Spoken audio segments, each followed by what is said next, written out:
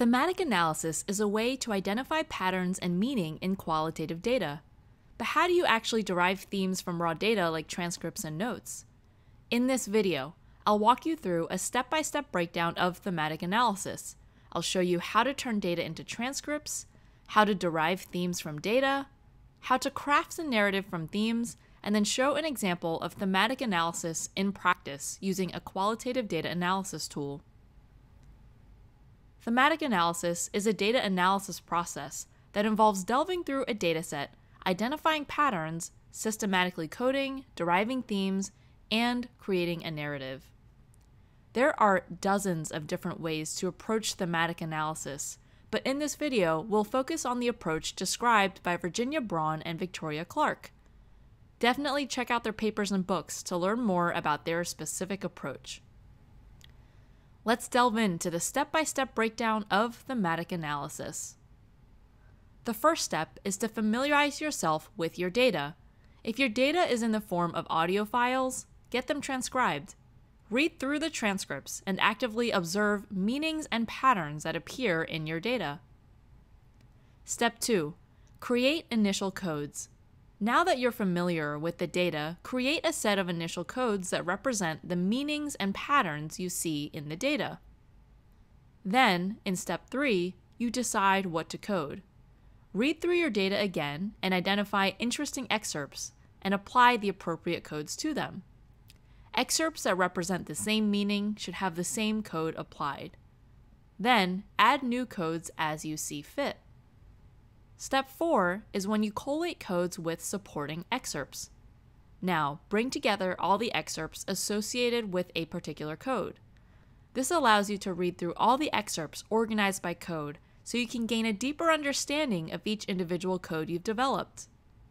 Adjust and revise the codes as you see fit. Once you've done that, you move into step 5, where you group your codes into themes. Group together all the excerpts associated with a particular code into a theme. A theme should go beyond just describing the topic area. It should be nuanced, complex, and say something meaningful and important about your research question. Then, in step 6, you'll evaluate and revise your themes. Thematic analysis is an iterative process.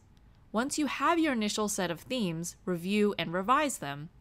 Ensure that each theme has enough data to support them and is distinct. Make sure you can articulate the boundaries of each theme, and be clear on what excerpts belong in the theme and what don't.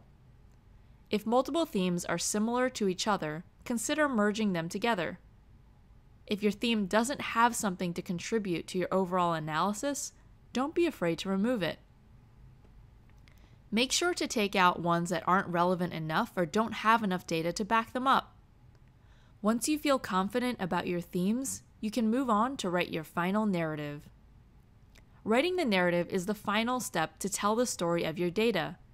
You should have fully thought out themes, and now it's your chance to communicate to your readers about the validity of your analysis. Make sure that your narrative tells a coherent story about your data and choose vivid quotes to help back up your points. Your narrative should go beyond just describing your data and should include your own interpretive analysis and make an argument for the claims that you present. When practicing thematic analysis, you can use pen and paper, document processors, or use qualitative coding software to do it. We highly recommend using qualitative coding software. And next, we'll walk you through an example of how to do the same thematic analysis steps using the qualitative coding software Delve. Before you can start thematic analysis using qualitative coding software, you need to make sure your data is prepared for analysis. Make sure your audio recordings are transcribed. And make sure your notes and other data are ready to go. Step 1 is to familiarize yourself with your data. Import your data into Delve. Drag and drop your files, and click between transcripts to read through them. Write down your notes along the way, and start thinking about the initial codes you'll want to create. Step 2 is to create codes that represent meanings and patterns you see in the data.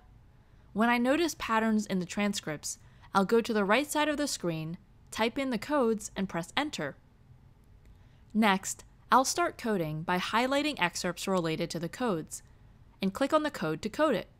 Make sure to check across all your transcripts to code anything related to that particular pattern. Continue going through your transcripts and code any relevant patterns you see. As you read through your transcripts, you may see more patterns beyond your initial set of codes. Feel free to add codes to capture those patterns.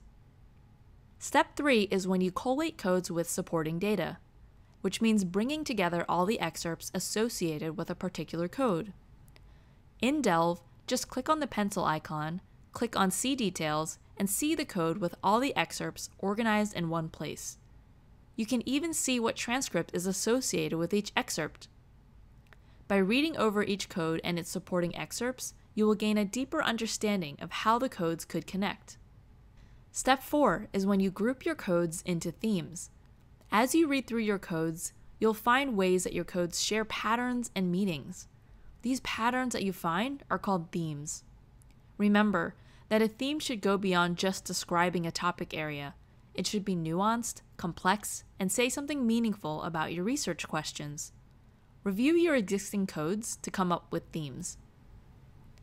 When you come up with a theme, just create the theme by typing it up on the right hand side, then dragging and dropping other codes underneath it. Don't worry if your themes are messy at this point.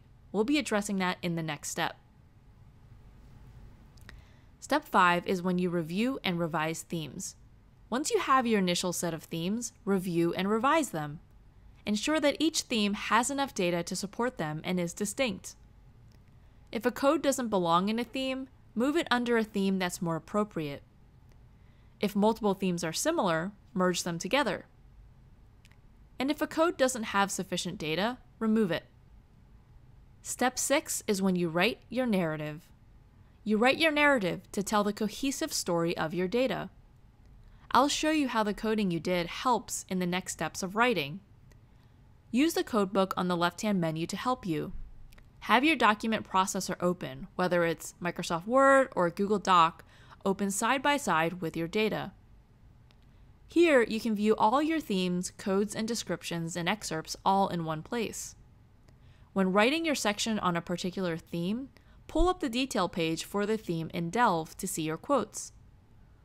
Pull those supporting quotes from Delve into your report and write your narrative. Remember, your narrative should go beyond just describing your data and should include your own interpretive analysis and make an argument for the claims that you present. Thank you so much for checking out our video. If you're ready to get started with thematic analysis, you can start a free trial of the Delve qualitative coding software at delvetool.com slash get started. If you want to learn about other qualitative methods, you can check out our other videos or learn more in our Delve Learning Center at delvetool.com slash learn.